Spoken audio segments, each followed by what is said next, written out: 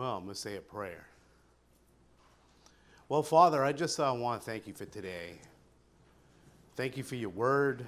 Thank you for the time that you gave us to worship you in spirit and in truth. And uh, Father, I just ask you, God, just to help me as I uh, give what you laid in my heart to give. And uh, Father, I pray that you prepare us as we uh, get ready to have communion. And uh, thank you, Jesus, for today. Thank you for your word. Thank you for your saints. Thank you for our salvation. And uh, thank you, God, that we have a place that we could come and worship you in spirit and in truth. Amen. well, I'm going to be in the book of Romans. And, and I'm going to share something that you heard me share before, but I'm kind of really intrigued by this part of Scripture, especially as we're uh, looking at preparing for communion. And I, I want to look at, because every time I look at this, I'm uh, just blessed by it. And, and I want us to get our hearts prepared and think about what Jesus did for us, you know? Um, you know, Jesus is the second Adam. That's what the Bible says. And you get the first Adam, you get the second Adam, and there's a big comparison between the two. And it's pretty amazing to me um, how Jesus came and did all of that. You know, like the Old Testament, it starts with Adam. If you read the genealogy in chapter 5, you read the genealogy, and it starts with Adam. But right in the end of Malachi, the last verse, okay, it ends with the word curse. And in the New Testament, the book of Matthew, that's the beginning of the New Testament, it starts with Jesus in the, in the genealogy. Jesus is the first one mentioned. And right at the end in the book of Revelation, it ends it, there will be no more curse. You know, that's pretty amazing, the two contrast like that. You know, and, and really, um, and that's why I wanted to do this so we could just think about we could think about what Jesus did for us. And I want to look at it by contrast. You know, and I, I titled this So Much More. Do you know that Jesus did so much more for us? He went above and beyond, didn't he? And you know, and as we prepare our hearts for communion, we should think about that. You know, we should think about what that means for us. You know, the whole book of Romans, chapter 5, you know, uh, the first 11 verses, it talks about what it means for us to be saved and how the blood of Jesus is really what justifies us, you know? It cleanses us from all unrighteousness. We can't earn our way. Jesus paid that price, you know? But after he talks about that, you know, like in also in Romans 5 8, it tells us while we were yet sinners, Christ died for us. Now, now that's pretty amazing uh, to even think about that. And uh, I get humbled every time I read that because I know that there's no way, there's absolutely no way any of us, okay, could ever earn our way to heaven. You know? And, and the thing is, it's really a blessing. You know, you know, like, oh, while we heard this before, we heard the gospel before, let's do something new. But you know what? We should never, ever, you know, think that that message is old for us. You know? Yeah, I mean, it should stay fresh and new in us every single day because if it wasn't for Jesus, we would be in so much trouble. Heaven would be empty. and we would all be condemned. Every single one of us. You know? And, and that's something to think about. That what Jesus did, that's a wonderful gift that he did. And the book of Romans kind of wraps it all up in Romans chapter 5. The first three verse chapters of Romans, it says that everyone is guilty. All have sinned and fall short the glory of God. And it talks about the religious man, the pagan man, even the moral man, okay? There's no way we could get to heaven. And those three chapters talk about that. And then in chapter five, it kind of is, to me, that's like the highlight of the book, okay? When we look at Romans chapter 5, I really think that that's the peak of the gospel right there, is how Jesus came. You know, the moral man would have been guilty, the pagan man would be guilty, and so would, so would the religious man. Everyone's guilty. We all need Jesus. Every one of us, right? And, and, um, and as we're going to communion, I want us to think about this contrast today. Because the truth be known, when Adam sinned in the garden, we were all there with him. When Jesus died on the cross, we were all there with him. You know, we were there in both those events. Some of us have never been at the cross because we never accepted Christ as our Lord and Savior. Right? But that cross is there for all of us. But we have to we have to identify what he did on that cross for us, don't we? Every one of us. You know, I, I want to look at verse 12. I'm going to start there, and it says, therefore, and I kind of gave you a, an overview of what why therefore is there. I, I kind of explained the first 11 verses, but it says just as just as though one man's sin entered into the world and death through sin, so death spread to all men because all sinned. How many of us know we all sinned? How many of us know we can't earn heaven? How many of us know, okay, that a pagan man can't earn heaven? It doesn't matter, you know? I mean, like I went to Peru, and in Peru, those people, they practice animism. And that's like worshiping the tree and worshiping all these kinds of things. And, what they do is they sacrifice animals and stuff because they don't want the gods to be mad. Okay? That's kind of what they do in Peru the people out in the jungle. See, because deep down inside, even the people in Peru that never heard the gospel, they know that they have a sin problem. It's funny how we all know we have a sin problem. And you know, it says, just as one man, sin entered into the world. You know who that's talking about? Adam, right?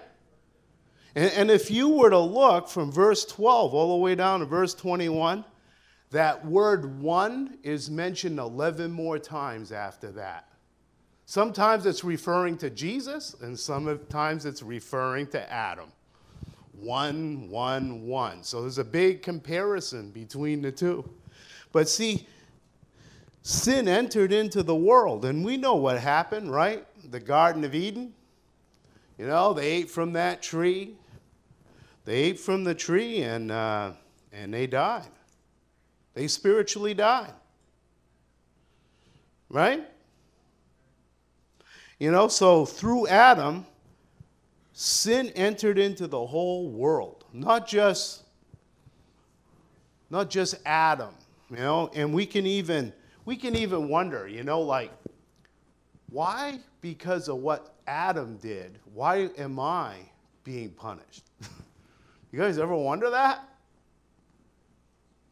But you know, he's, he's our, well, he's our great, great, great, great, great, many greats. Father, grandfather, whatever he is. He's the father of all humanity. Him and Adam and Eve, right? And, and you know, and when he fell from that tree, And even God told them not to touch that tree, but they did. They didn't listen. They got tempted, right? The truth be known, if, if it was us, we'd probably do the same thing. we probably would have taken from the tree. We were probably given in to that temptation. You know, uh, eh, but yet we inherited that sin from Adam, didn't we? We inherited that sin. It's kind of like this. You know, I, I want to kind of make it simple for us. If I had a match in my hand, okay, and I, I lit the match and I threw the match on the ground in the woods, all the woods catches on fire. You know, Adam's sin is like that match. And that match all of us have been infected. And how do I know that? Well, in, the Bible, it tells us, right? It, tells us in the Bible that, that after Adam sinned, you know, God threw him out of the garden, protect him from the tree of life, and he put an angel there, so they got cast out, put clothes on them. But the next chapter, this is how I know sin came into the world. The first murder happened. Cain killed Abel. A couple chapters later, it says that man's wickedness was so bad, okay, that God flooded the earth through Noah, okay? And he spared Noah. And, and not only that, but if you were to read Genesis chapter 5, everybody after Adam died. So, all those things are part of the curse of sin. You know, that's all uh, consequences of sin. Even the animal kingdom died. Animals die now too because of the curse, right? The Bible tells us that all of, all of creation is groaning at his return. Book of Romans tells us that. So, you know, so when Adam fell and he sinned by eating that fruit he shouldn't have ate, him and Eve, you know, sin entered into the world. And, and we're still living in a world like that, aren't we? But Jesus came and we're going to look at the difference now. You know, Jesus came. And I really like the comparison of the two. You know, so through so sin entered into the world and death through sin, so death spread to all men because all sin. Kind of like that match, you know, burning all the woods. You know? Same thing. But until the law, sin was in the world. And, and you know, and that's referring to Moses right there. That's when the law was given. So the whole thing is the people before the law, you know, the law is what told us what sin is. It's like, that's what it is. You know, when we hear the Ten Commandments, we read the Bible, you know, the Ten Commandments. Now we know right from wrong, right? So that's what that's all about, to teach us what sin is. But you know, the people before the law says until the law, okay? That means before Moses, sin was in the world. So it was in the world even before Moses. And like I gave you some examples Cain killed Abel, and the flood, and people died, animals died, right? And they had to work. It, the ground was cursed because of that, right? So, so nobody's off the hook. You know what I'm saying? Because we all inherited that sin from Adam, every one of us. That's what it says. See, but he wasn't going to hold it to our account if there's no law. That law is going to tell us that we are guilty. That's what it is. And we all broke the Ten Commandments, haven't we? So all have sinned and fall short of the glory of God. That's what the Bible says. See, and in verse 14, it just kind of reiterates what I just said. Nevertheless, death reigned from Adam till Moses, even over those who had not sinned in the likeness of the offense of Adam, who is a type of him that was to come. And, and I'll give you one more example. How do I know? How do I know we inherited the sin of Adam? Well, I think about I think about little children you know, they don't get taught how to sin, they just naturally sin, don't they? I, I remember one time there was a little kid. Uh, we were doing VBS up in uh, uh, up in Newport, and and this young man, okay, we had snacks in the kitchen, you know, and he was a young kid, and we had cookies baked for the kids. And, and some of the cookies were gone. And Pauline asked, Where'd those cookies go? Was it you, Ken? No. and, and, and, what did that little boy say? He said they accidentally fell on his plate. but see, he got caught with his hand in a cookie jar. You know what I mean? But nobody taught him to do the wrong thing. It's just natural for all of us to do the wrong thing. You know? We're born with that. We inherited that from Adam and Eve. You know? We were born through those parents of ours, okay? So, and it's natural. They accidentally fell on my plate. I like that. And he was so cute, we gave him another cookie. no, but you know what I mean? It, it, it's natural for us. So, you know, but the Bible says that we're all guilty, every single one of us.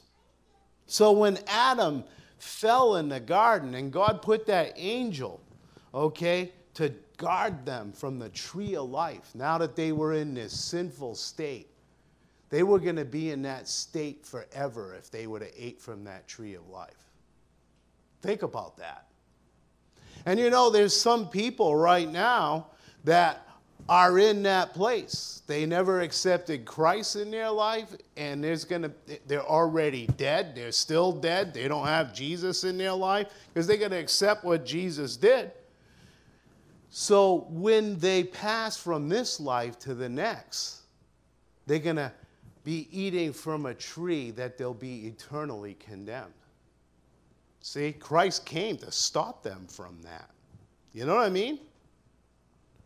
But for us believers, we're going to have access to the tree of life. And there won't be any curse anymore. We're going to live forever, aren't we? So, you know, it's a good thing that the Lord did for us. You know, now look at this. Verse, I think I did, verse 14. Nevertheless, death reigned. Okay, I read that. So, verse 15. Now we're going to look at some things that are a contrast, okay? Well, the free gift is not like the transgression, for by the transgression of the one, many died. So, see, there's a gift for all of us, isn't there? there? There's a gift that gives us life, and then there's a gift that keeps us in a bad state of condemnation, right? And, and, the first one gave us a gift of being separated from God. That's what, the, that's what Adam did when he sinned. But look at this. You know, verse 15. But the free gift is not like the transgression. We already talked about that. See that word much more? Verse 15. Much more. This is what I wrote about that. It's far outweighs, outdistance what Adam did. Isn't that amazing? He did a whole lot more for us. Jesus went the extra mile, didn't he? And grace of God, the gift of grace is given of the one man, Jesus Christ, to abound to the many. And really, that word many, if you were to look at that, it means all, okay? But not all, because some people will think, and I know there's even a, a group of people uh, that believe that you know, universalism, they think, okay, that Jesus died for everybody. It doesn't matter how you live. You're all going to go to heaven. Okay? That's what they think. But that's not the case because in verse 17, it tells us it's only for those who receive that abundance. You know? So by faith, we get to accept what Jesus did for us. That's not a free gift for everybody. It's a gift for everybody if we accept Jesus by faith. You know what I mean? What he did on the cross. So that people that teach like that, they're not teaching properly. You know, they're teaching that all is going to go to heaven. It doesn't matter. You know, I've been to a lot of funerals, and a lot of people think everybody's in heaven. Isn't that true? But this is how we get to heaven, right here. It's through Jesus. That's how. You know, verse 16. So it's a free gift. So either way, we get a gift. I don't want the gift that Adam gave me. I want the gift that Jesus gives me. How about you? And you know what? That gift is we are justified by his blood okay? Just as if we never sinned. That's what it means. He doesn't remember our sins anymore. He came to die for our sins. See, he became a man. That's why they call him the second Adam. He became a man and took our place on the cross. Now, that's pretty amazing to me. How about you? You know, verse 16. Let's look at another thing Let's look at the effect uh, that Adam brought and the effect that Jesus brought, brings. And the gift is not like that which through one who sinned, for one, for on the one hand, the judgment arose from the transgression, resulting in condemnation. See that? That's what happened with Adam. Remember God saying in the garden, after they fell from the tree? Adam, where are you? Where are you, Adam? And what did Adam do? He was behind the tree and he said, I'm over here, God. I'm over here. He was hiding behind the tree, he was behind the bushes. And God knew that he ate from that tree because before that, he didn't realize that he was naked. But now he did, and God knew. Oh, you're hiding because you can't be in my presence anymore because of sin. You know? And that's why God cast them out of the garden for a while because he said, You know what? I don't want man to be separated from me anymore. I'm going to send my son Jesus. and he's going to die so they can be restored in relationship with me. Isn't that awesome?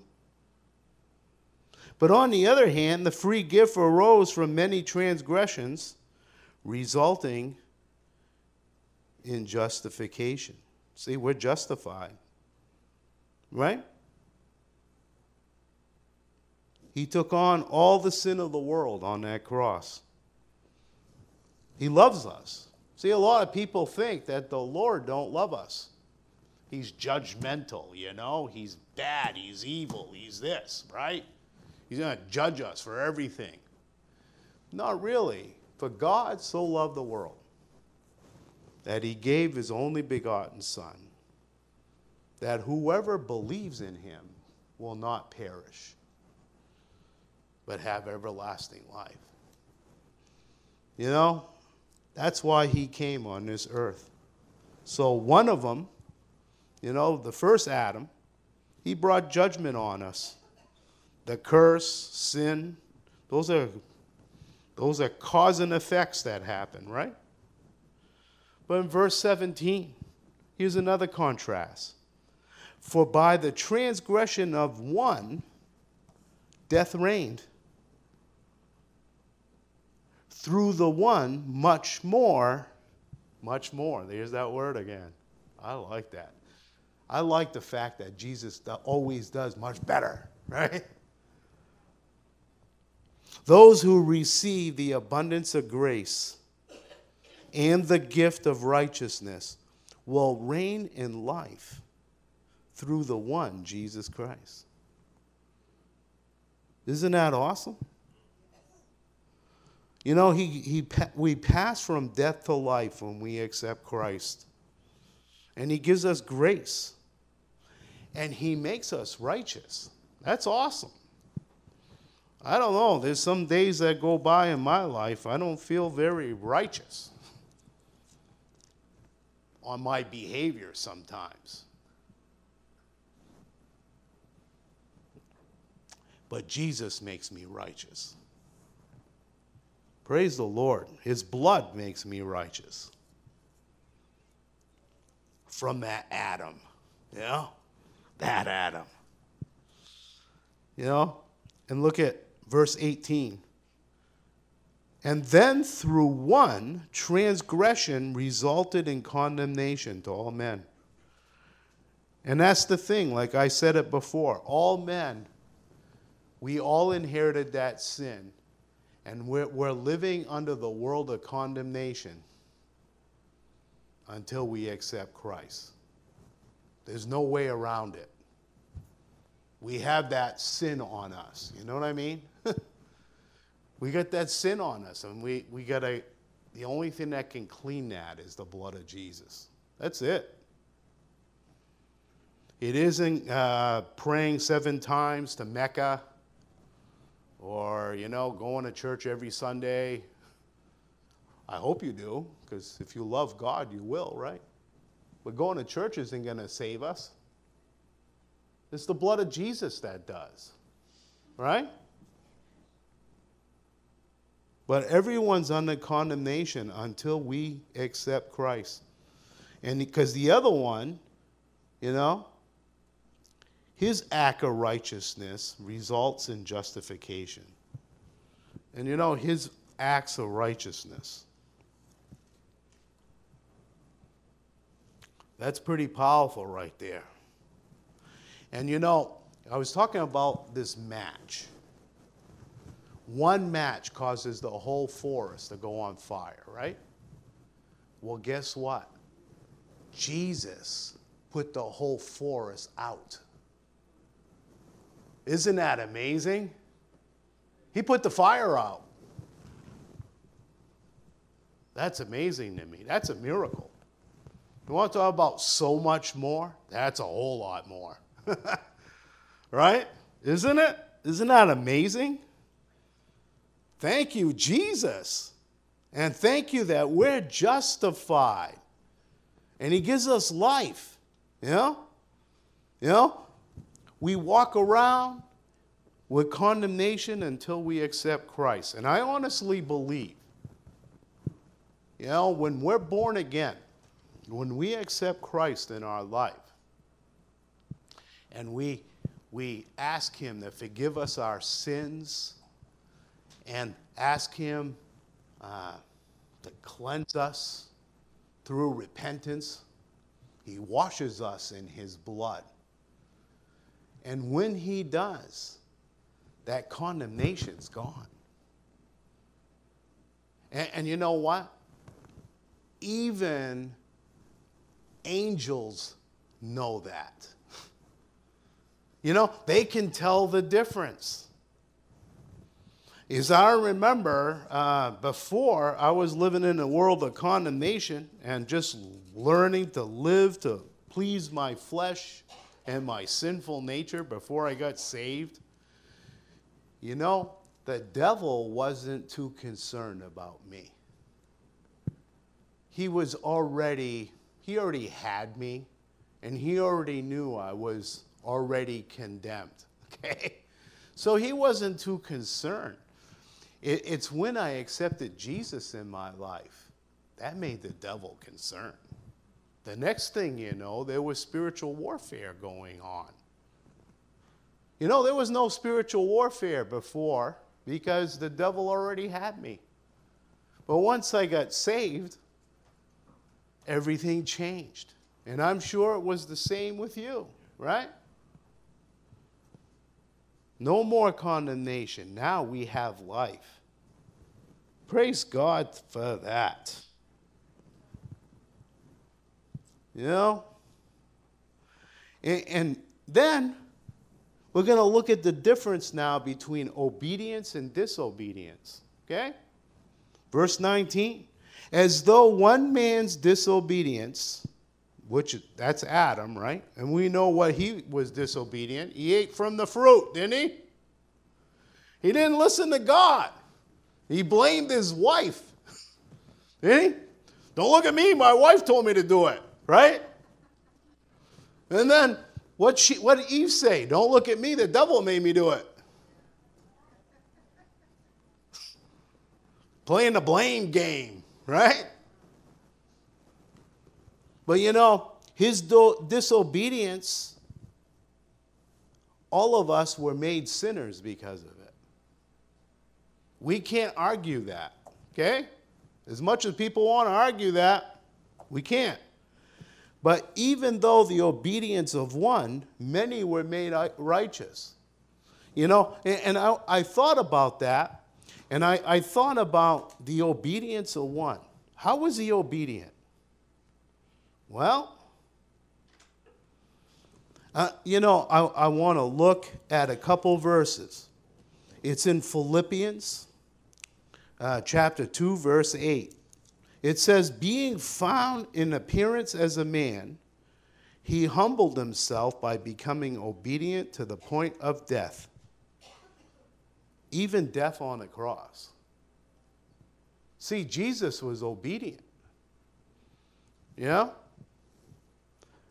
And there's another place, it tells us in Hebrews chapter 5, it tells us this.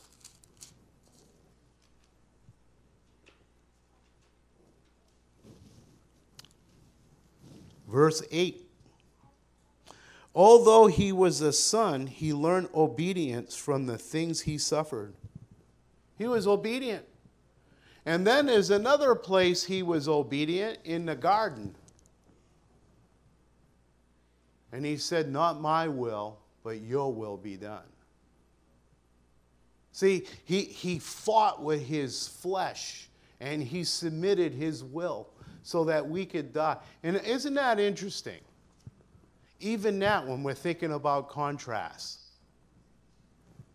the garden is where man fell, and it was in the wilderness that Jesus got the victory. He got tested by the devil.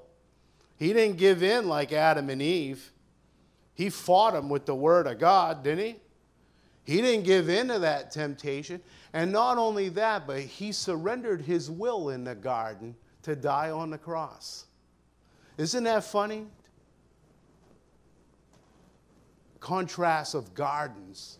There was also, a, what was the other thing? They ate from the tree. Jesus died on the tree. Isn't that awesome? That's good to know. And, and you see that through the whole, the whole uh, gospel story that there's such a contrast between the two. What, how the devil stole it from us, Jesus took it back, you know? He took it back. We got stolen at the tree, well, he died on the tree. You know, they lost their life in the garden, but Jesus restored their life in the garden. Better. When you read in the book of Revelation, there'll be no more curse, no more pain, no more dying, right? The curse will be no more. You know? And, and there's some people still living in the curse. So when we look at this, when we look at this contrast between disobedience and obedience, his obedience made us righteous. But then, verse 20 and 21, you know, it says the law came that transgression might increase. So, the more we know about sin, okay, the more we're going to realize, right? That, wow, we're all guilty, right? But where sin increased, grace abounded that much more. Isn't that awesome? Much more. That word, much more again, right? Isn't it cool that Jesus went the extra mile? Praise the Lord.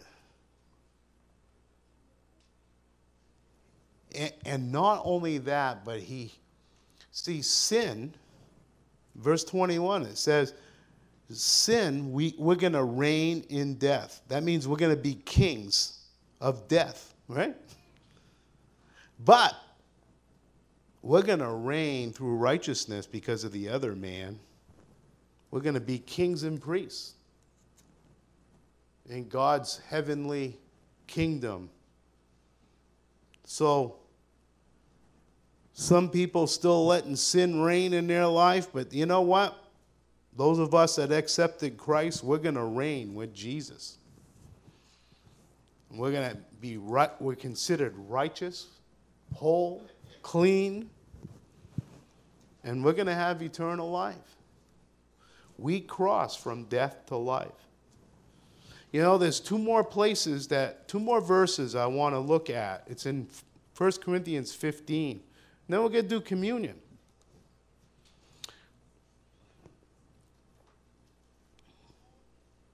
You know, 1 Corinthians 15, it talks about the resurrection. And, and, it gives us a few things that compare Adam, the two Adams, again. So let, let's look at those comparisons. Paul talks about it here too. This whole chapter is about the resurrection.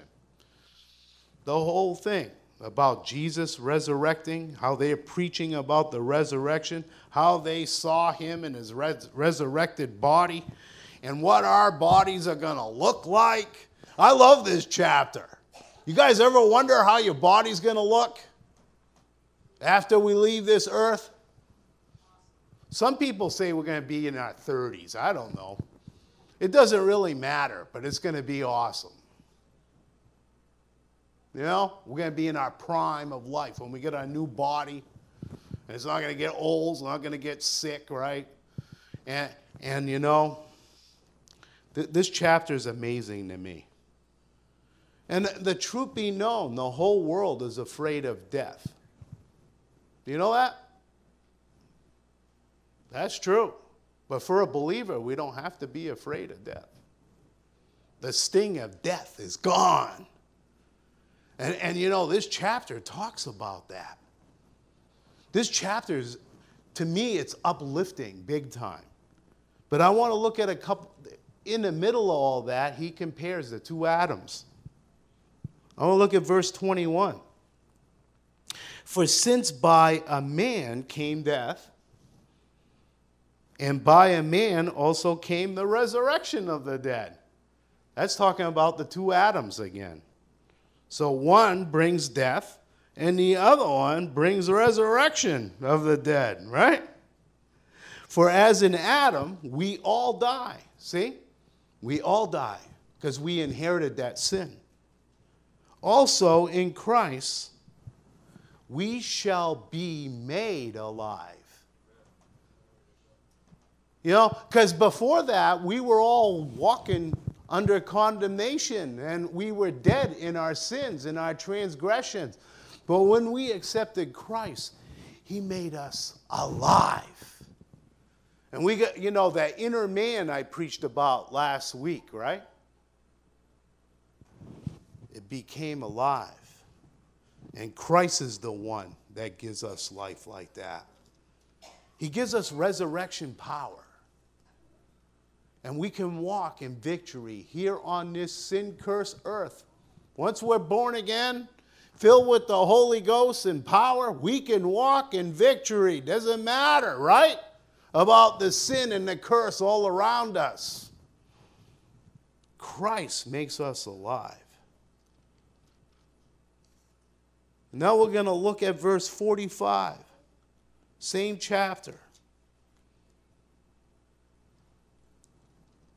So also it is written the first man, Adam, became a living soul. The last Adam became a life giving spirit. See, remember God breathed into Adam and he came alive after he formed him with the, the dirt, right? But see, Jesus is the only one that can, a life giving spirit. That's what it says, right? Jesus is the only one that has the power to breathe life into our dead soul. He's the only one. He breathes that resurrection power into us. We were once dead, but now we live. He's a life giving spirit, see? He doesn't keep the life to himself, he gives us the life.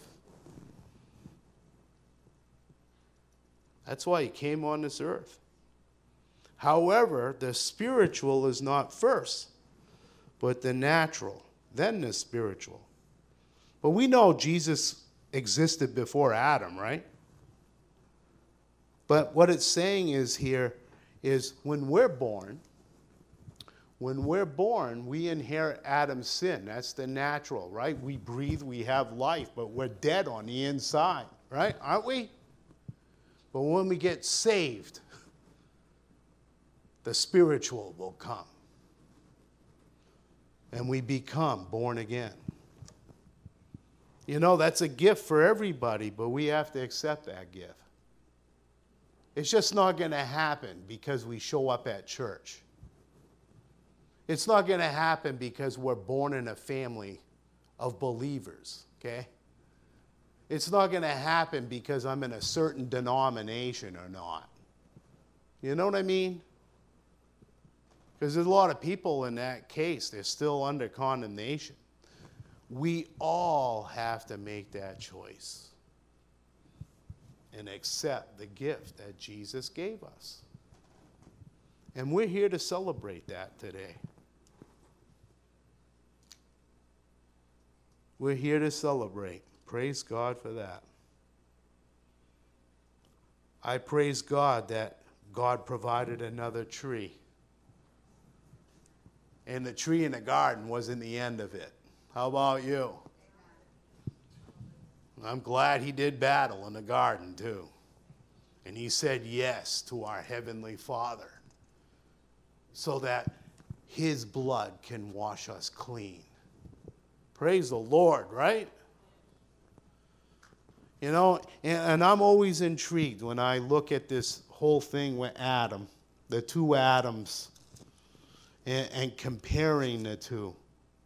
Because, boy, there's such a big difference between them.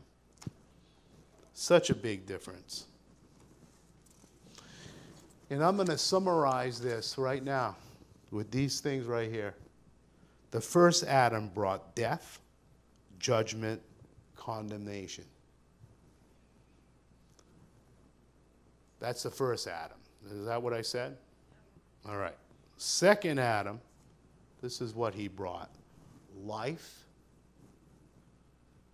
a free gift, grace, justification, righteousness,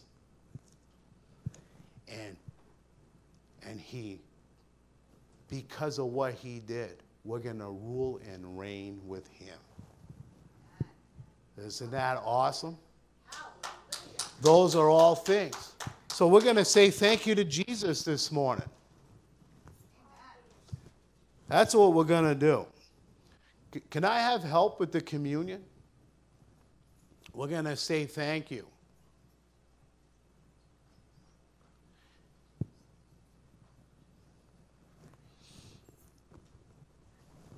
Yeah, I have one already.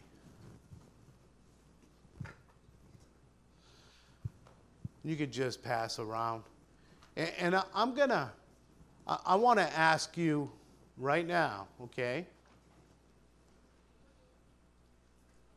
If, I'm going to ask everybody while they're passing communion out, because I want everyone to be able to have communion.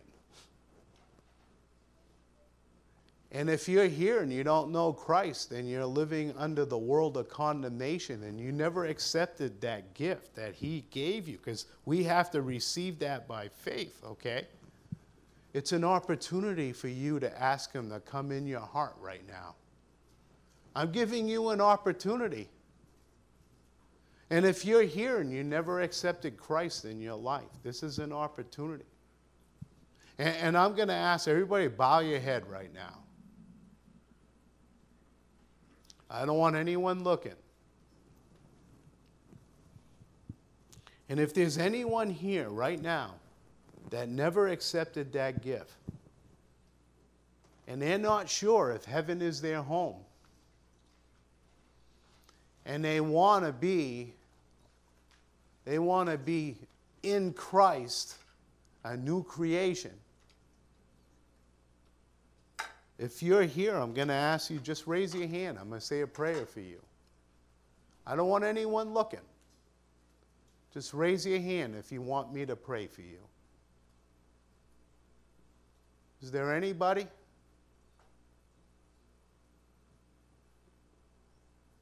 All right, I saw that hand. And we're going to say a prayer. I want to say a prayer before we do the communion. How's that?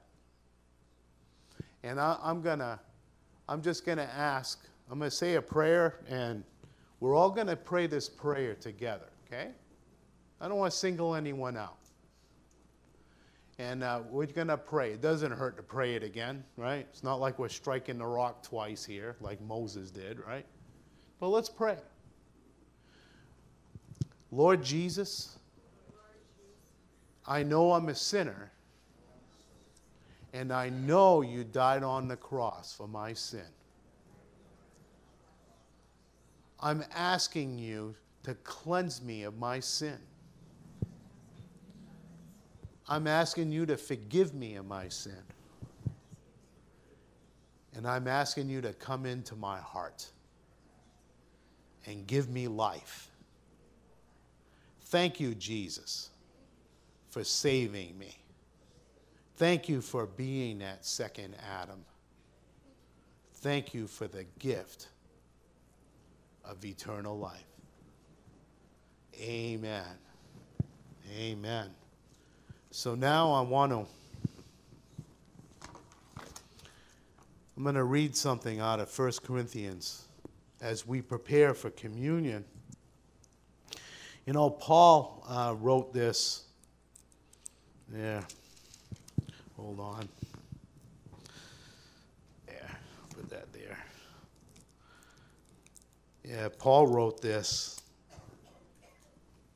Since we're talking about what Paul had to say today. I think it's appropriate to do communion that way, through him, through his words. And verse 23, it says, For I received from the Lord, which I also delivered to you, that the Lord Jesus, in the night which he was betrayed, took bread.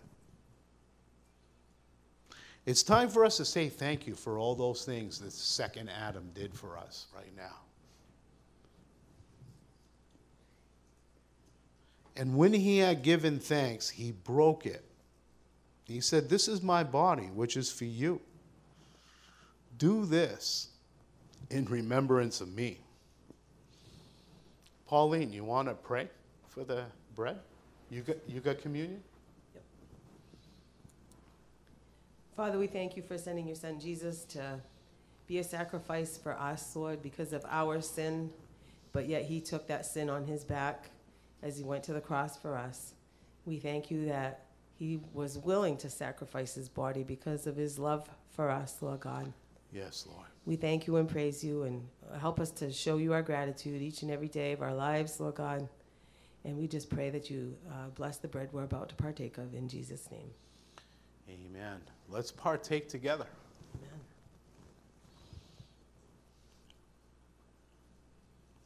Thank you, Lord. Thank you, Lord.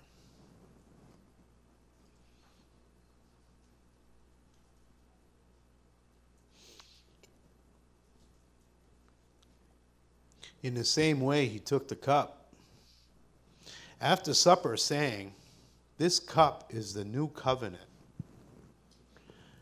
In my blood, do this as often as you drink it in remembrance of me. For as often as you eat this bread and drink this cup, you proclaim the Lord's death till he comes. And you know, we're to, now that we're looking at this cup, this, this juice that we have in our hand, and it's a reminder for the blood that Jesus shed for us. His blood justifies us. And he told us to keep remembering that. There's no other way except for the blood of Jesus, right? It cleanses us of our sin. It puts the fire out. It puts the fire out, and it also it forgives us of our sin, and it also provides healing for our bodies as well. All the things the curse brought, the blood came to turn all that around for us. Isn't that amazing? The blood is the gift that Jesus gave us. It's a gift to heal our sin and anything else the curse would cause us to struggle with. You know, maybe somebody, you know, treating us wrong, or a sickness, a disease, or maybe a besetting sin that keeps cropping up in our life. You know what I mean? You know what I'm saying? And Jesus did that for us. And, and when he left this earth, he left the blood behind for us because he knew we would need it. You know, when he went to heaven, he didn't go to heaven with any blood. He had flesh and bones. He left the blood behind, and it's as fresh today as it was the day he shed it. And it's there for anyone who would ask. Praise the Lord, right? And I want to say a thank, thank you to the Lord.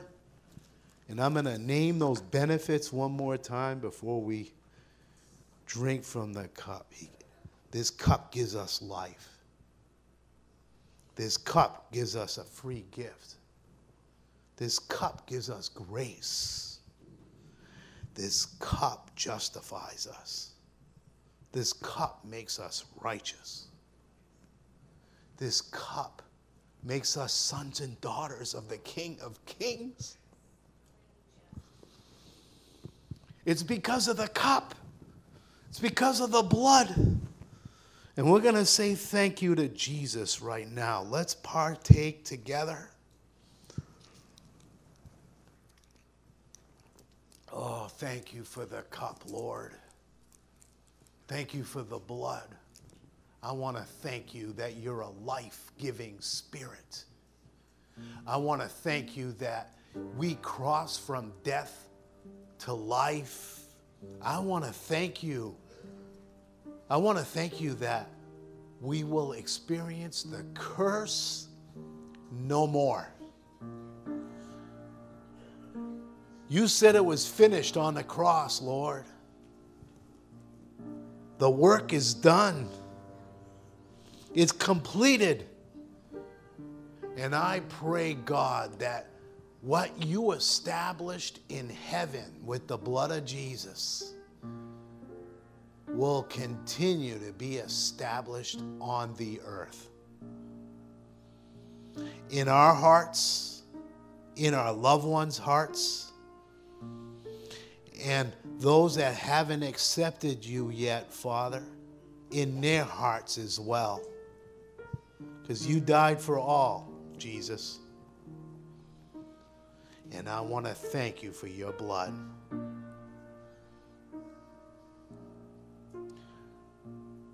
Thank you, Lord.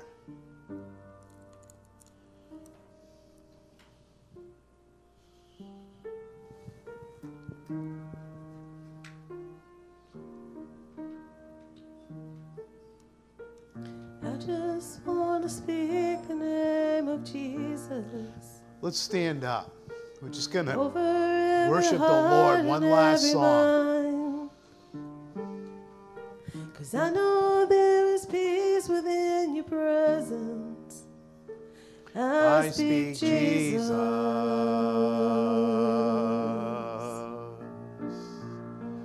I just want, Want to speak, the name of Jesus. Till every, Every dark addiction starts to break. Declaring there is hope and there is freedom. I, I speak Jesus. Cause your name is power, your, name is healing, your, name, is life. Break, every stronghold. shine through the shadows, burn like a fire.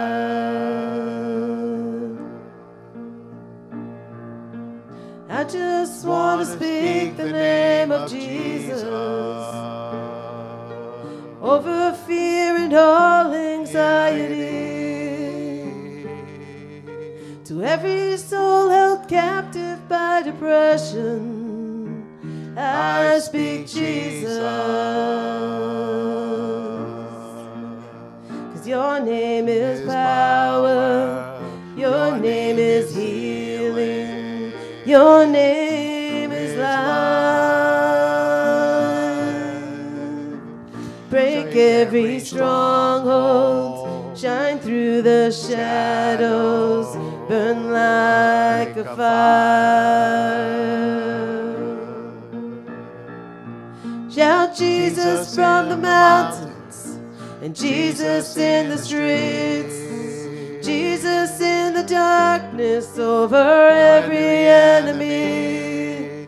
Jesus for my family, I speak the holy name. Jesus.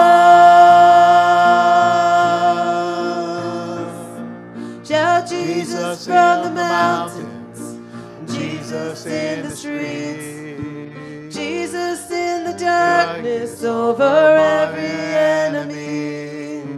Jesus for my family, I speak the holy name. Jesus.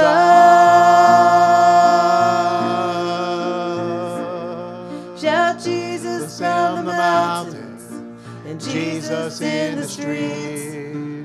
Jesus in the darkness over every enemy. Jesus for my family, I speak the holy name. Jesus.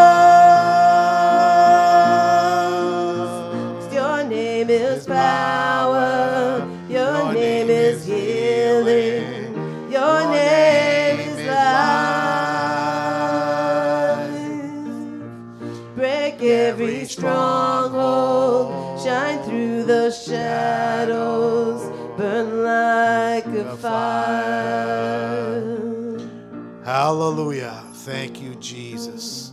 Burn like a fire. Thank you, Lord. Jesus. Just do that chorus one more time. Cause your name is power. Your, Your name, is healing. healing. Your name is life. Thank you, Lord Jesus. Break every stronghold. Shine through the shadows.